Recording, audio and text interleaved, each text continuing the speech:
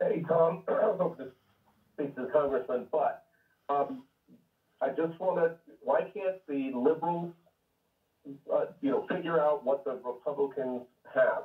We keep complaining that the media isn't putting our message out there, we're not getting the coverage. We're not getting the coverage because that's not the, uh, media's business model anymore. It's sensationalism.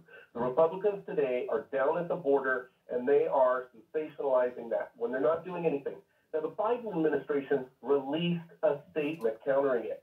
That's not, we've got to get coverage. The way you get coverage, send Kamala Harris down there and literally have her banging on a podium saying, we are trying to fix this, but the Republicans won't come to the table. Call them out on it. I Tell agree.